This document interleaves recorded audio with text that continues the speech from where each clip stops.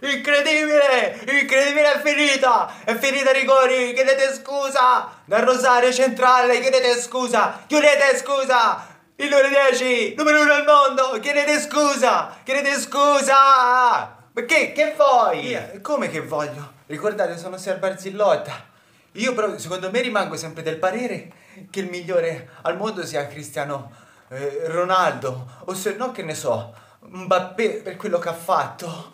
Eh, ma, ma via, via, ma vattene, vattene, e che cavolo, via, su, finiamola qui, rendiamo omaggio al numero 1 al mondo, al numero 10 da 10 a 10. L'ultimo mondiale vinto con il Pibe d'Oro, ma il grande Maradona, mai dimenticato. A quest'oggi, 2022, Qatar, l'altro numero 10, porta la vittoria, la Coppa del Mondo per la terza volta in mano della nazionale de- argentina dell'Albiceleste. Dell'Albiceleste, una partita piena di emozioni, piena di emozioni, quando poi sembrava che la rimonta francese con, eh, sembrava effettuarsi, concretizzarsi, è andata in vantaggio l'Argentina, il cui va il merito di non essersi mai resa, di essersi sempre rimessa in carreggiata dal 2 a 1, 2 a 2, trovando il 3 a 2, subendo il 3 pari e, addirittura, addirittura sferrando in più occasioni, così come la Francia, però avendo sempre il pallino del gioco cattiveria, pressing, raddoppi, e, e, e, anzi marcature triplicate, eh, lot, pedate quando c'era da darle e poi a sprazzi quando prendeva palla Messi illuminava.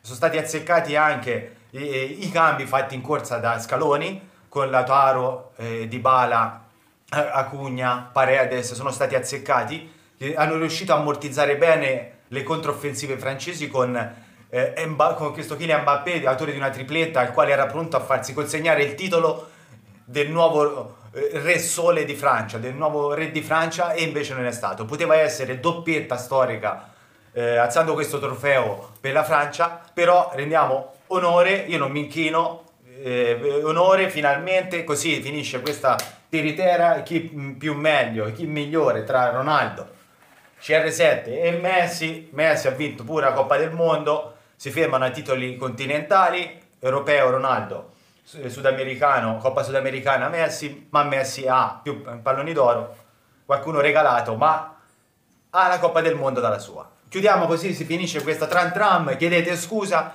chiedete scusa, ripeto, partita, partita storica. Questa è una partita che entrerà negli annali del calcio mondiale, dei campionati del mondo, dei campionati. Un po', se devo dirla tutta, se devo dirla tutta, è una partita...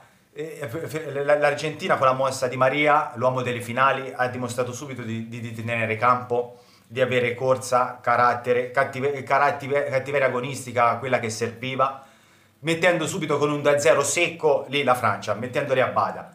Poi nel secondo tempo, secondo me, seppur giocando meglio, la Francia provava a fare qualcosa e complici e complici anche, sono venute le reti della Francia, complici anche sono state innescate da errori di valutazione difensive degli uomini argentini, il quale sembrava che stessero per rivivere la, la, la finale, la, part- la, prima partita inaugurale contro l'Arabia Saudita. Ecco, secondo me in qualche frangente è spuntato fuori, erano dietro l'angolo i fantasmi arabi, ma n- n- nulla è successo, andati ai rigori, sono stati più concreti, la Francia ha pagato eh, le imprecisioni da calci, da calci, dagli, calci dagli 11 metri, qui finisce, qui Argentina penso meritatamente, le ultime due partite le ha giocate veramente bene, le altre eh, non ha dimostrato mai un gioco ma compattezza e, e niente, meritato, meritato mondiale, abbiamo il meritato numero uno al mondo finalmente per la gioia da Dani, il nano ha vinto, inchinatevi da Rosario Central alla vetta del mondo, numero 10. Via, Ronaldo terzo, secondo Mbappé, che Mbappé sarà l'erede, sicuramente sarà l'erede. E ma comunque vi dico anche un'altra cosa, vi dico un'altra cosa, che la Francia non ha finito un ciclo, non ha finito. Ci è andata vicina questa sera a continuarlo, ma il ciclo continua, perché guardate che il settore giovanile eh, da dove attingono è importante. L'abbiamo visto che hanno giovani di talento e, e, e forti. Quindi non è finito niente la Francia. Li rivedremo agli europei, sicuro, e li rivedremo ai prossimi mondiali, statene certi. Per l'Argentina forse sarà da aspettare il prossimo numero 10, tra 20, 30, 35 anni. Insomma, per loro è il momento di goderselo che gli mancava dall'86. Dal numero 10 al 10, da 10 al 10. La storia si riscrive. Nuovamente, i cicli si ripetono. Ciao a tutti, like Caprina Attiva.